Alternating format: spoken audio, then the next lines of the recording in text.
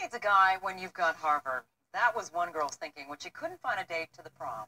No argument from this guy. That Minnesota teen Priscilla decided to take prom photos with that acceptance letter. She captured, uh, she captioned them. Couldn't find a man to accept me for prom, so I took a college that did.